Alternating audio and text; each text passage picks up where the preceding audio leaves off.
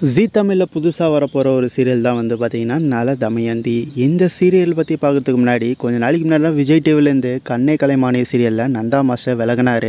ஆனால் அப்போ புரியல இப்போ தான் புரியுது. நந்தா மாஸ்டர் தான் வந்து பார்த்திங்கன்னா இப்போ இந்த புது சீரியலில் லீடு அதாவது ஹீரோவாக வந்து பார்த்திங்கன்னா நடிக்கிறாரு. இவருக்கு பேராக ஹீரோயினாக வந்து பார்த்திங்கன்னா பிரியாங்கா நல்கரி. அவங்க தான் வந்து பார்த்திங்கன்னா இதில் ஹீரோயினாக பண்ணுறாங்க இந்த சீரியலோட ஷூட்டிங் வந்து இப்போ தான் ஸ்டார்ட் ஆகிருக்குது போக போக இன்னும் கொஞ்ச நாளில் வந்து பார்த்திங்கன்னா ப்ரோமோ ரிலீஸ் பண்ண போகிறாங்க அஃபிஷியல் ப்ரோமோ இந்த சீரியலில் இவங்களோட பேர் எப்படி இருக்கும்? நல்லா இருக்குமா? நல்லா இருக்காதா? இல்லை வேறு யார் வந்து நல்லா பிரியங்கா நல்கரிக்கு பேராக நடித்தா நல்லாயிருக்குன்னு உங்களுக்கு தோணுதோ? அவங்கள மறக்காமல் கமெண்ட் பண்ணுங்கள்